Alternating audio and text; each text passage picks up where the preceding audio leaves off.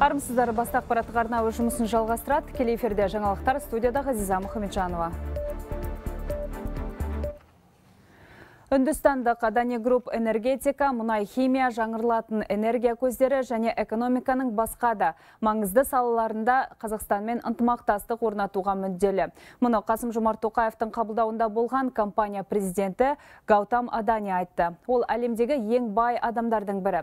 Өткен айда Адани тобының жалпы нарықтық капиталы 280 миллиард долларға жеткен. Бұл рекордтық көрсеткіш. Ақордадағы кездесуде қазақ басшысы мен Адани ұзақ мерзімді және стратегиялық маңызы бар инвестициялық жобаларды жүзеге асыру жайын талқылады. Мемлекет басшысы Адани Групптың өңірдегі көлік инфрақұрылымын дамыту жоспарын оң бағалады. Сосын еліміз көлік жолдарын әртараптандыруға, Транскаспий халықаралық бағдарын дамытуға басымдық беріп жатқанын атап өтті. Ал Татарстанмен серіктестік аясы одан әрі кеңейе түседі. Еліміздегі бірлескен жобаларға қолдау көрсету жалғаса береді. Гаутам Аданиден кейін Қасым Жомарт Тоқаев Астанаға келген Татарстан президенті Рустам Минихановты қабылдады. Тараптар сауда экономикалық, инвестициялық және мәдени гуманитарлық салалардағы ынтымақтастықты талқылады. Татарстанмен тауар айналымы биылғы 9 айда 466 миллион доллардан асқан. Мемлекет басшысы байланысқа көңілі толатынын жеткізді. Рустам Миниханов болса Қасым Жомарт Тоқаевты президенті лауазымына қайта тағайындалуымен құттықтады. Сондай ақ машина жасау саласындағы ірі жобалар табысты жүзеге асырылып жатқанын атап, Татарстан компаниясы еліміздің Саран қаласында салған шина зауытынан бүгін алғашқы өнім шыққанын атап өтті. Зауыт келесі жылы толық қуатта жұмыс істеуді жоспарлап отыр. Кәсіпорын жылына жеңіл және жүк көліктеріне арналған 3,5 миллион дөңгелек шығарады. Зауытта мыңнан аса жұмыс орнын ашу қарастырылған. Инвестиция көлемі 400 миллион доллар. Қазақстан халқының саны 212 мың адамға өсті. Мұндай мәліметті ұлттық статистика бюросы келтіріп отыр. Бірінші қарашадағы жағдай бойынша халықтың саны 19 миллион 715 адам болды. Оның 62%ке жуығы қалада тұрса, 38 пайызы ауыл аймақта өмір сүреді. Жыл басынан бері 1,1%-тік өсім байқалып отыр. Қаңтар қазан айларында дүниеге 333 мың сәби келген. Бұл былтырғы жылдың көрсеткіштерінен 11%-ке кем. Бала туу коэффициентіне тоқталсақ, мың адамға шаққанда 20 сәбиден келеді. Бұл ретте өлім жітім көрсеткішінің де анағұрлым азайтқанын айта кету керек. 10 айда 112 мыңнан астам қазақстандық бақилық болды. Бұл бұлтырғымен салыстырғанда 17 пайызға аз. Ақтөбе облысындағы медициналық мекеме жедел жәрдем көлігін төрт есе жоғарылатылған бағамен сатып алған. Осындай деректер Алматы, Ақмола, Атырау, Қарағанды, Қостанай, Шығыс Қазақстан, Батыс Қазақстан, Жамбыл және Павлодар облыстарында да анықталды. Бас прокурор Берік Асылов бірқатар тексеріс барысында бюджет қаржысын жымқыру және сапасыз медициналық техниканы аса қымбат бағаға сатып алу фактілері әшкере болғанын мәлімдеді. 15 сотқа дейінгі тергеу басталып 405 адам тәртіп тәртіптік және әкімшілік жауапкершілікке тартылған. Берік Асылов алқа отырысының қорытындысы бойынша облыс прокурорларына мемлекетке келтірілген залалды өтеуді тапсырды.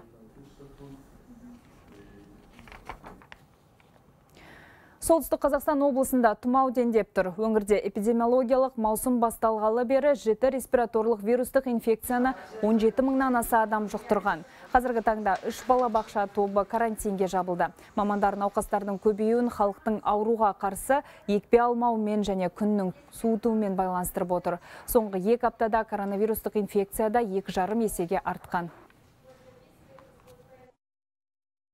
Өткен эпидемиялық маусыммен салыстырғанда 33 пайызға өсуі байқалады. Ең көп ауырғандар саны 14 жас аралықтағы балалар арасында яғни 11688 жағдайды құрайды немесе 66 пайыз. Қазақ балетінің аңызы Болат Аюханов 85 жасқа қараған шағында өмірден өтті. Семейде дүниеге келген ол 1955 жылы Алматы хореографиялық училищесін бітіріп, Абай атындағы опера және балет театрының сәлесі болады. Ал 1967 жылы кейіннен мемлекеттік академиялық би театры болып өзгертілген Алматының жас балетін құрып, оны өмірінің соңына дейін басқарды. Ол құрған ансамбль Европа мен Азияда гастрольдік сапармен болып, бірнеше мәрте жоғары марапатқа ие болған болған. Талантты хореограф әрі балетмейстер әлемдік сахналарда қазақстандық композиторлардың музыкасына 30-дан астам спектакль қойды. Табиғатынан дарынды ұстаз, жастарға бағыт бағдар беріп, әр шәкіртінің бойындағы талантын танып, оларға арнап репертуарды үнемі жаңартып отырды. Қазақстанның халық артисі және көптеген сыйлықтар мен марапаттардың егері 60 жасқа дейін балеро балетінің солисі болды. Болат Аюхановпен қоштасу Абай атындағы Қазақ ұлттық опера және балет театрында 15 желтоқсан күні сағат 10.00-де өтеді. Это, конечно же, большая утрата для нас всех. Бұл әрине бәріміз үшін үлкен қайғы. Өйткені Болат Аюханов балет өнерінің жарқын тұлғасы, біздің ұстазымыз. Біз бірге көп жұмыс істедік. Айналасындағылар одан хореография, музыкалық өнер, режиссураны меңгерді. Болат Аюханов шәкірттерінің бойына барлық білімді сіңіруге тырысты. Ол біз үшін жай ғана кәсіби маман емес, аты үлкен әріптермен жазылатын ұстазымыз еді. Оны хореографияның әкесі десем артық айтпаймын. Теория режиссуры.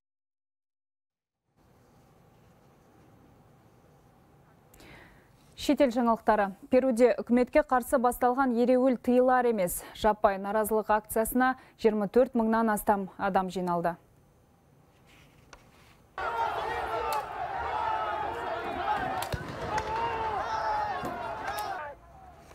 Ашуға бой алдырғандар полициямен қақтығысқа түсті. Салдарынан 40-тан астам тәртіп сақшысы жарақат алған. 5 адамның қаза болғаны белгілі. Жеті ереуілші қамалды. Наразы топ елдің оңтүстігіндегі Андауайлас әуежайының жұмысына кедергі келтіріп, жанармай сақталған қойманы өртеп жіберген. Өзге де өңірлердегі тас жолдар бұғатталды. Естеріңізге салайық, өткен аптада парламент ел президентіне импичмент жариялап, оны қызметінен босатқан. Кейін прокуратура Кастелионың үстінен қылмыстық іс қозғап, оны қамауға алды. Енді халық оның бостандығын талап етіп отыр. Ал Австралияда атыс болып алты адам ажал құшты. Олардың екеуі полиция қызметкері. Тәртіп сақшыларына өткен жылы бір адамның жоғалғаны және ол Квинсленд штатындағы үйде болуы мүмкін деген хабар жетеді. Билік осы ақпаратты тексеруді өтінген. Оқиға орнына жеткен төрт полицейді мұздай қаруланған үш адам оқ жаудырып қарсы алған. Екеуі қашып құтылып көмекке шақырып үлгерген атыстан үш қаскөйдің көзі жойылды. Көрші кісі де оққа ұшқан. Қайғылы оқиғаның себеп салдары тергеліп жатыр.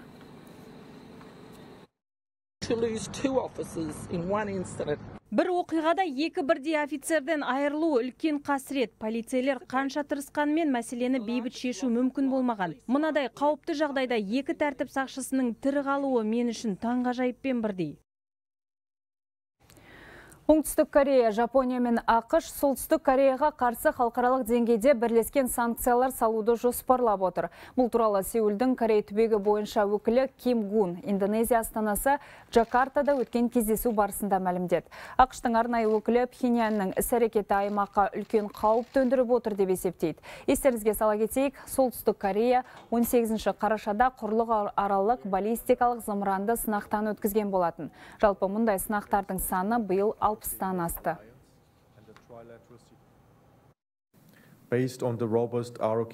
Қауіпсіздікті қамтамасыз ету мақсатында біз үш жақты уағдаластық жасамақ ниеттеміз осылайша солтүстік кореяның ядролық және зымыран сынақтарына олардан туындаған қатерге қарсы бас біріктіріп санкциялар қабылдаймыз. Америкалық ғалымдар термоядролық энергия саласында радиоактивті қалдығы жоқ, таза қуатқа қол жеткізді. Бұл туралы Рейтер агенттігі хабарлады. Оны Калифорниядағы зерттеу орталығының мамандары лазермен термоядролық синтезді тәжірибелеу кезінде анықтаған көрінеді. Айта кетейік, әлемде термоядролық синтез энергиясына 1950 жылдан бастап ден қойыла бастаған. Ғалымдар оны таза энергияның нағыз қайнар көзі деп қарастырады. Бірақ қазірге дейін одан сарқылмайтын таза қуат алудың жолы табылмай келген.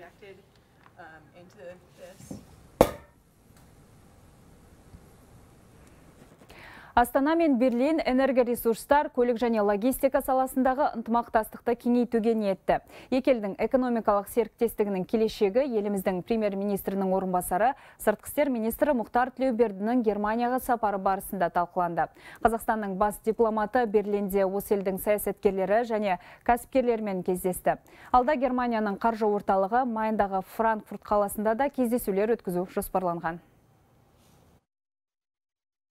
Сыртқы істер министрі Мұхтар Тілеубердінің жұмыс сапарының бағдарламасы өте ауқымды. Еліміздің бас дипломаты Германияның бірқатар іскер және саяси өкілдерімен кездесіп үлгерді. Осы елдің вице-канцлері экономика және климатты қорғау министрі Роберт Хабек экономикалық ынтымақтастықты дамыту мәселесін талқылады. Келіссөзден кейін Мұхтар Тілеуберді Германия экономикасы шығыс комитетінің 70 жылдығына арналған шараға қатысып, президентіміздің құттықтауын тапсырды. 1952 жылы құрылған ұйым шет елдерде Германия экономикасына қолдау білдірумен айналысады. Конференцияда Қазақстан Германия ынтымақтастығының келешегі қарастырылды. Біз үшін ұйымымыздың 70 жылдық мерейтойына қазақстан премьер-министрінің орынбасары сыртқы істер министрі мұхтар тілеубердінің қатысып жатқаны үлкен мәртебе. Сіздің еліңіз орталық азиядағы неміс экономикасының сенімді серіктесі. Қазақстан көп жылдан бері түрлі салада ынтымақтасып келе жатқан 29 мемлекеттің ішіне кіреді Қазақстандық делегация Германияның бірқатар ірі компаниясының басшыларымен кездесті. Қазақстанда көп жылдан бері жұмыс істеп келе жатқан Кнауф бірлестігі бар. Компания кәсібін кеңейтуге ниетті. Ал Өскеменде Германияның жартылай титан өнімдерін дайындайтын өндіріс кешені жаңа кампусын ашпақшы. Мы как бы сейчас изучаем возможность открытия қазір қазақстанда кампус ашпақ ойдамыз оңтүстік корея және францияның бертен дуваль компаниясымен ынтымақтастық жайлы білеміз. Біз жартылай титан өнімдері өндірісін ғана емес жоғары маржиналды дайын тауарларды ұсынбақпыз. Мұның ерекшелігі оларды әуе саласында да қолдануға болады. Қазақстандық нарыққа пайдалы қазбаларды зерттеумен айналысатын жетекші неміс компаниясы да кірме қойды. Келіссөздер жемісті өтті. Кездесу барысында көкейде жүрген көп мәселені қарастырдық.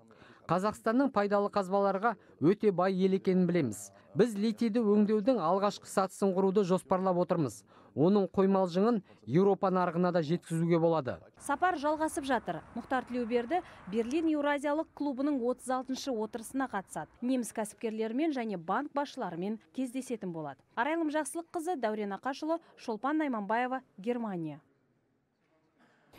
Қазақстандық көре Илбо газеті Кореядағы әріптестермен ынтымақтастығын арттырады. Отандық басылымның бас редакторы Константин Ким оңтүстік Кореядағы ірі аймақтық газет редакцияларында болып, Кавандо провинциясындағы ең үлкен газетпен жаңалықтар алмасу туралы шешім қабылдады. Сондай қос басылымның журналистері де өзара тәжірибеден өтпек.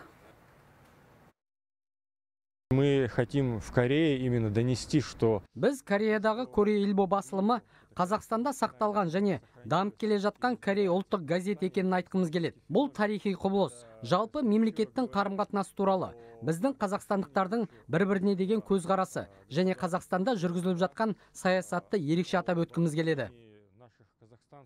Ел жаңалықтарына ойсақ, Түркістан облысының шаруаларын мақтаның машақаты әбден әбігерге салды. Ордабасылықтар өнімін жиып теріп өткізгенімен тиесілі қаржысын ала алмай сенделіп жүр. Өйткені ақ алтынды қабылдап алған компания шитті мақтаны өткізе алмай отыр екен. Тараптардың пікірін әріптесім Нұрсұлтан Мұхамеджан тыңдап қайтты. бұл мақта тап мақта бірінші сорт мақта Биыл Лесхан Тоқсанбаевтың шаруашылығына тиесілі 40 гектар жерге мақта бітік шықты. Дайын өнімді жауын шашынға қалдырмай, түгел төрткүлдегі қабылдау бекетіне өткізген. Бірақ әлі де ала жазда еткен еңбегінің ақысын ала алмай жүр.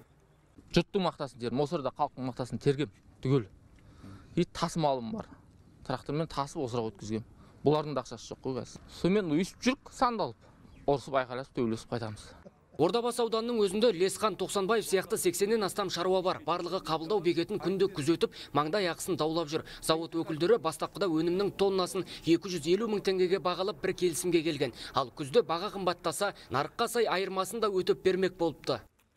келіскен ақша түгіл 250 теңгеден беретін авансын толық берген жоқ көп адамдар қатты қиналып қалды көмір алатын ақшасы жоқ киім алу керек балдарына ол ол жоқ тіпті продукттың өзі қиналып жатыр. Қанша адамның кредиті бар оны төлей алмай жатыр жазымен істеген жаңағы осы бар ақшамызды мақтаға тығамыз ғой. Мазасы қашқан мақташылардың базынасын жергілікті атқарушы билік өкілдері жақсы біледі екен. Тек қолдан келер дәрмен жоқ. ақбура контрактінің жаңағы басшылығына біз бірнеше мәрте бардық. Шаруалармен де бірге бардық. Ә, сө- сөйлесіп келіссөздерге біз келе алмадық. Ә, себебі мақтаның жаңағы ә, нарықтағы бағасының айқындалмауына байланысты сондай уәж айтып отыр Мақташылардың бас ауруына айналған бұл мәселесі ендігі егіс маусымына да кері әсерін тигізгелі тұр. Өйткені қаржысыз жүрген шаруаның техникасын сайлап жер жыртуға да шамасы жоқ. Сондықтан құзырлы орган өкілдеріне шағымданып, жағдайда жуық арада шешіп берсін деп талап етпек. Нұрсұлтан Мұхаммеджан Нұрмахан Бекмұратов, Хабар 24, Түркістан облысы. Психологиялық проблемасы бар қазақстандықтардың 5-ақ проценті ғана кәсіби маманның көмегіне жүгіне алады. Бұл туралы бүгін пандемия сабақтары конференциясының қатысушылары хабарлады. Осы орайда елімізде психикалық денсаулық жөніндегі бірыңғай ақпарат орталығы ашылмақ. Мұнда депрессиясында дертке ұшыраған азаматтар хабарласып, психологтардан онлайн форматта консультация ала алады. Конференцияға жиналған мамандардың айтуынша COVID-19 пандемиясы адам денсаулығына және оның психологиялық күйіне әсерін тигізді. Әсіресе карантин кезінде оқшауланған балалар айтарлықтай зардап шеккен. Осы орайда бүкіл әлем сарапшылары жасөспірімдердің сауығып кету мәселелеріне көңіл бөліп жатыр. Пандемия COVID-19 COVID-19 пандемиясы бүкіл әлем азаматтарына кері әсерін тигізді. Күйзеліске ұшырағандар саны 25%-ке артты. Балалар арасында да бұл көрсеткіш 20%-ке жетіп қалды. Өкінішке қарай олардың арасында қазақстандықтар да бар. Сол себепті қазір жас өспірімдерге тез арада жәрдем беру қажет. Оларға психолог мамандарға жүгінуге мүмкіндік берген жөн. Осы орайда бірыңғай ақпарат орталығы ашылатын болды. Қалағандар дәрігерлермен тікелей байланысқа шыға алады. Жаңадан жасақталған Ұлытау облыстық төтенше жағдайлар қызметіне су жаңа техника берілді. Өрт сөндіру көліктері және автоцистерналар халық саны мен жер көлеміне байланысты аудандарға теңдей бөлінді. 11 арнайы техниканың ішінде қолайсыз ауа райында құтқару жұмыстарын жүргізуге таптырмайтын Нива Марш автокөлігі бар.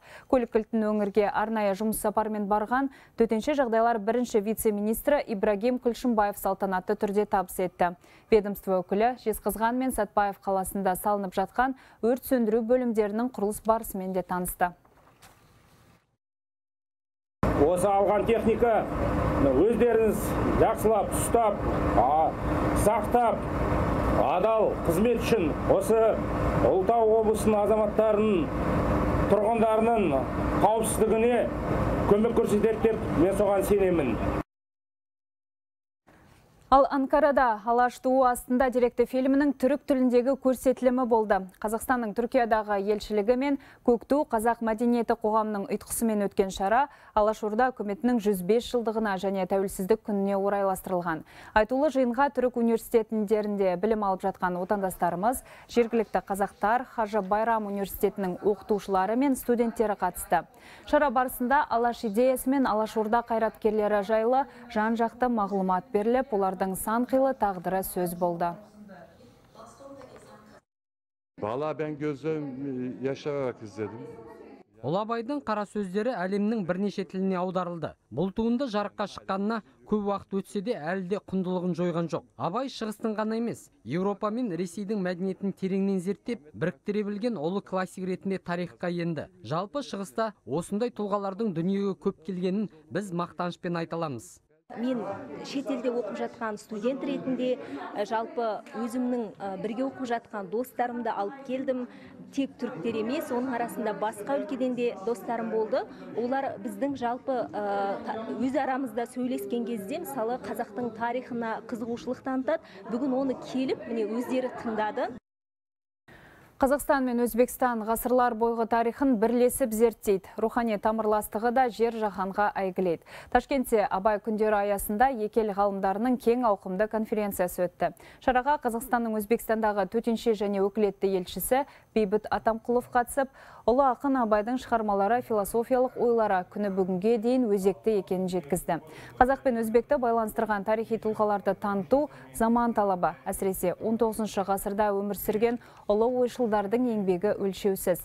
Отаршылдық кезеңінде ұлттық мақсат мүддені алдыңғы қатарға қойып, рухани құндылықтарды дәріптей білген Абай, Мұхаммед Муккиме, Шоқан Уалиханов, Ахмад Дониш сынды ағартушылардың есімі орталық Азия шежіресінде ерекше орын алады. Енді екі ел ғалымдары қырғызстандық және тәжікстандық әріптестермен бірлесіп, ұмыт бола бастаған деректер, көне жәдігерлерді жарыққа шығарумен айналысады. Тұтас аймақ тарихын кітап немесе оқулық ретінде басып шығару да жоспарлап бар.